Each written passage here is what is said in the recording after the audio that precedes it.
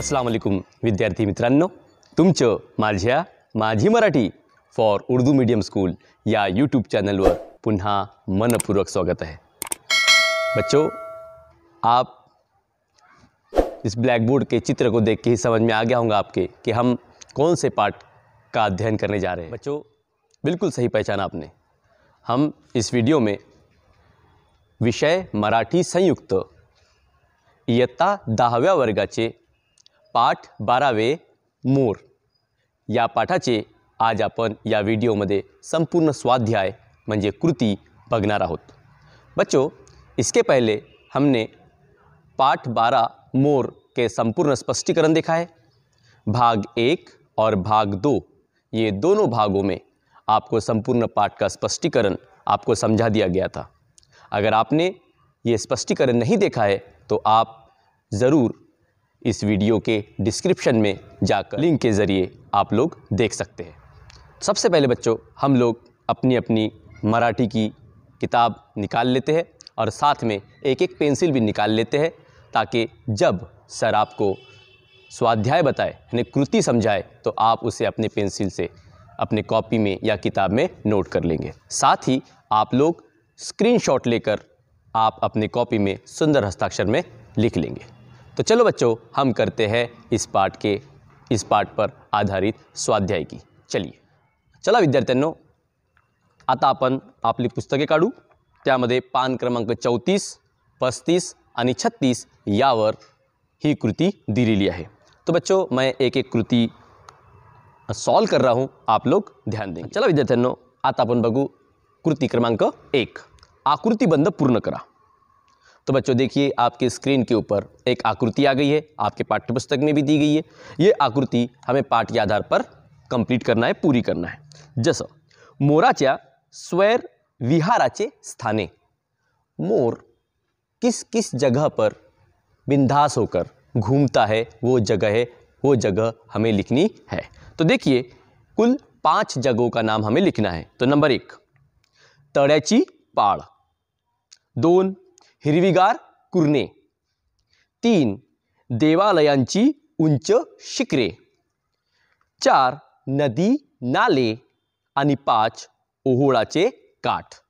तो इन जगहों पर मोर बिंदास घुमता है स्वैर विहाराची स्थाने आहेत. चला पुढं. आता आपण बघू कृती क्रमांक दोन. राष्ट्रीय पक्षी हा मानाचा किताब मिळवण्यासाठी मोराकडे असलेली पक्षी वैशिष्ट्ये। तो बच्चों, जैसा कि हमें पता है, जैसा कि हमने पाठ में भी पढ़ा है कि मोर हमारा राष्ट्रीय पक्षी है।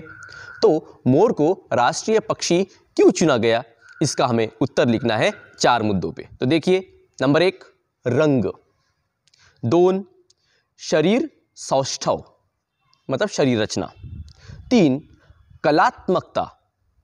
चार, कंठ स्वर मतलब उसकी आवाज़। तो इन चार मुद्दों पे उसे राष्ट्रीय पक्षी घोषित किया गया। चला आता आपण बघू कृती क्रमांक तीन। कंसातील योग्य पर्याय शोधा व लिहा। तर बघा आपल्याला दोन वाक्य दिलेली आहेत. त्या वाक्यांमध्ये काही रिक्त स्थाने आहेत. मतलब खाली जगह आहे. त्या रिक्त स्थानांना आपल्याला कंसात दिलेल्या शब्द योग्य शब्दांच्या मदतीने आपल्याला ते वाक्य पूर्ण करायचे आहे. देखिए नंबर एक. अ डॅश मोर सापड़त नाही. तो मोर कहाँ नहीं दिखाई देता, कहाँ नहीं मिलता। तो ऑप्शन दिए गए हैं। एक, आग्नेय आशियात। दोन ब्रह्मदेशात आणि तीन, हिमालयात। तर याचे उत्तर काय आहे हिमालयात। तो इसका अब पूरा वाक्य कैसा बनेगा? हिमालयात मोर सापड़त नहीं। चला, पुढं। आ, मोर हा डैश पोट जातीचा पक्षी आहे।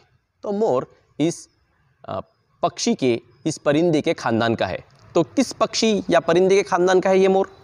एक कोंबडीच्या दोन शहामुर्गाच्या तीन बदकाच्या तो इसका सही उत्तर है कोंबडीच्या तो हमारा वाक्य कैसा बनेगा? उत्तर, मोर हा कोंबडीच्या पोट जातीचा पक्षी आहे. इस तरह से हमें वाक्य पूरा करना है। त्याच्यानंतर आता आपण बघू कृती क्रमांक चार. एका शब्दात उत्तर लिहा. मतलब एक लफ्ज़ों में, एक वर्ड में हमें उत्तर लिखना है और आकृति पूरी करना है। अ, मोराच्या ओरडण्याला म्हणतात।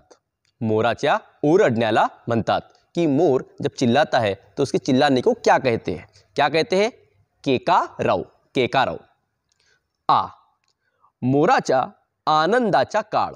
मोराच्या आनंदाचा काळ कि मोर किस समय ज़्यादा खुश होता है? किस समय? वर्षा ऋतु, यानी बारिश के मौसम में। वर्षा ऋतू। चला, आता आपण बघू कृती क्रमांक पाच। मोराच्या दैनंदिनीचा ओग तख्ता बनवा। दैनंदिनीचा ओग तख्ता मतलब रोज़मर्रा का जो काम है उसका, मोर का, उसका हमें पूरी आकृति कंप्लीट करना है, पूरी करना है। जैसे तो आपकी स्क्रीन के ऊपर आकृति आ गई है देखिए, अब उत्तर बता रहे सर तो स्टेप वाइज कौन कौन से काम मोर करता है, वो हमें देखना है। नंबर एक, पहाट होताच मोर जागा हो तो जैसे ही दिन निकलता है, मोर जाग जाता है। दुसरी, झोप घेतलेल्या झाडावर बसून बांग देतो, और जिस झाड़ पे वो सोया है, नींद हुई उसकी, वहाँ पे बैठ के वो बांग देता है। तीसरा, थोड़ा वेळ आपले पंख सावरतो, थोड़ी देर अपने पंख सवारता है। चार टेहळणी करतो थोडा घुमता है। आणि शेवटलं बघा सूर्योदयापूर्वी अर्धा तास तो झाडाखाली उतरतो मतलब सूर्योदय के पहले वो थोड़ी देर के लिए नीचे, झाड़ के नीचे उतरता है। आता आपण बघू कृती क्रमांक सहा, जोड़ियाँ लावा। मतलब सही जोड़ियाँ लगाइए। तो देखिए बच्चों, स्क्रीन के ऊपर आपको जोड़ियों की आकृति आ गई है। तो बच्चों, आपको सही जोड़ी की उत्तर बताया जा रहा है। तो देखिए अ गट आणि ब गट उत्तर बता रहे, सर. अ, अफ्रीकेत आढळणारे मोर. अफ्रीका इस खंड में, इस देश में जो मोर पाए जाते हैं, वो. तो कैसे है वो? दोन. उत्तर. निड्या जांभळ्या रंगाचे. नीले और जामुनी रंग के होते हैं. आ, हिमालयाच्या पूर्व भागात आढळणारे मोर. कि हिमालय के पूर्व दिशा में मिलने वाले, पाए जाने वाले मोर. तो वो कैसे है? नंबर तीन, उत्तर आहे तीन, राखाडी रंगाचे मतलब राख के रंग के. ई, आग्नेय आशियात आढळणारे मोर, कि आग्नेय आशिया में, आग्नेय आशिया खंड में पाए जाने वाले मोर. तो ये कैसे है? उत्तर एक, हिरव्या छटांचे मतलब कि जिनके ऊपर हिर, हरे रंग की स्ट्रिप्स मतलब हरी रंग की छटाएँ दी जाती है वैसे मोर.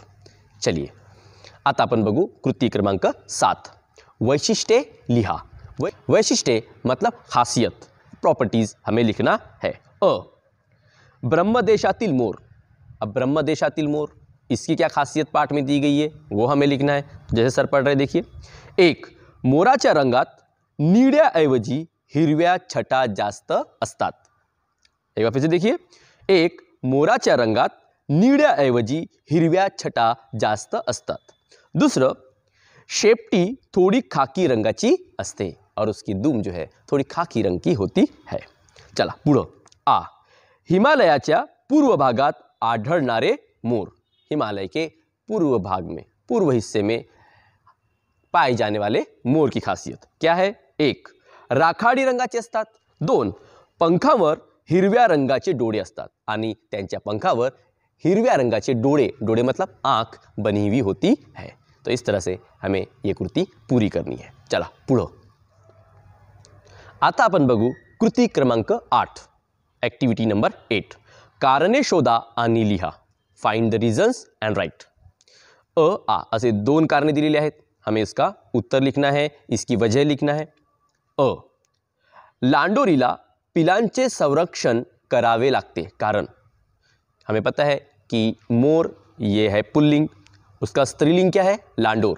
तो लांडोर को अपने बच्चों की हिफाजत करना पड़ता है. क्यों करना पड़ता है? देखिए उसका उत्तर। उत्तर ऐसा आएगा। उत्तर, लांडोरीला पिलांचे संरक्षण करावे लागते कारण मोर यावेळी लांडोळीजवळ राहत नहीं, क्योंकि मोर इस समय लांडोरी के पास नहीं रहता, इसलिए वो अकेले ही हिफाजत करती है। दुसरं, म्हणजे आ, मोराला राष्ट्रीय पक्षी होण्याचा मान मिळाला कारण मोराला राष्ट्रीय पक्षी होण्याचा मान मिळाला कारण लिहा कि मोर को राष्ट्रीय पक्षी ये किताब दिया गया। क्यों दिया गया? तो देखिए उत्तर।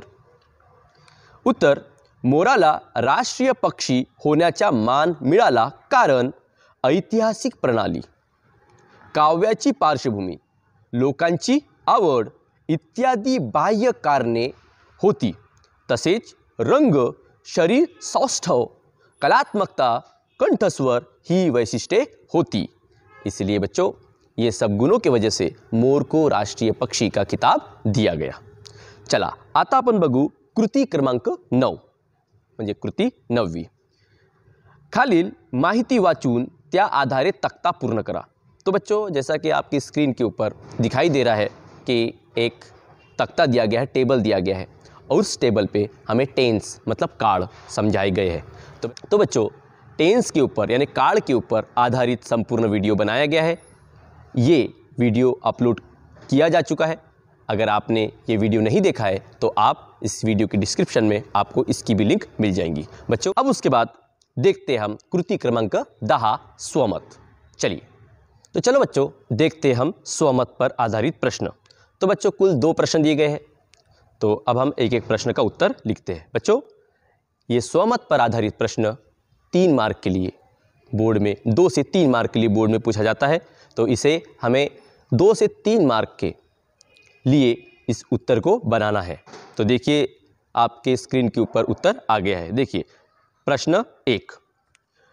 वन्य पशु पक्षी ही आपली राष्ट्रीय संपत्ती आहे। वन्य पशु पक्षी मतलब जंगली जानवर, उसके बाद परिंदे, ये हमारी राष्ट्रीय संपत्ति है, नेशनल वेल्थ है। या विधानाबद्दल तुमचे विचार लिहा। तो इस विधान के बारे में आपको अपने विचार लिखने हैं।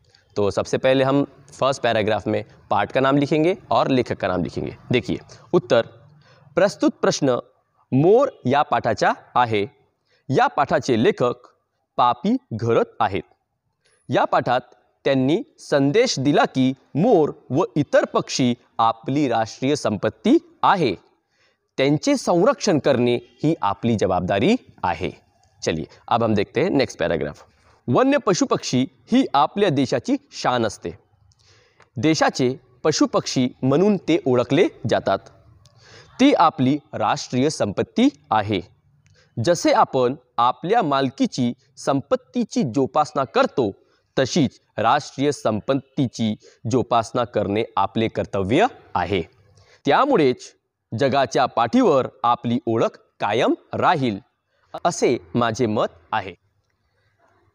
अशा प्रकारे विद्यार्थी मित्रांनो आपल्याला या प्रश्नाचे उत्तर लिहायचे आहे. बच्चों तीन मार्क्स के लिए तो ये इसको आप और बड़ा भी लिख सकते हैं. चला आता आपण बघू प्रश्न क्रमांक दोन. राष्ट्रीय पक्षी असा मानाचा किताब देण्यास मोर योग्य पक्षी आहे. याबाबत तुमचे मत सकारण स्पष्ट करा. तो राष्ट्रीय पक्षी मोर को बनाया गया। तो इस बात पे आपको अपने मत, अपने व्यूज़ अपना ओपिनियन सकारण मतलब रीज़न के साथ स्पष्ट करना है कि मोर को राष्ट्रीय पक्षी का किताब क्यों दिया गया। चलिए देखते इसका उत्तर। उत्तर, प्रस्तुत प्रश्न मोर या पाठातील आहे। या पाठाचे लेखक पापी घरत आहेत। या पाठात लेखकाने मोराला राष्ट्रीय पक्षी हा किताब कसा मिळाला याचा इतिहास सांगितला आहे.